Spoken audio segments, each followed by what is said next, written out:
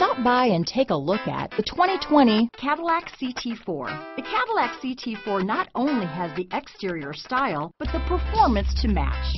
The CT4 has plenty of luxury and technology features, which is highlighted by its updated infotainment center.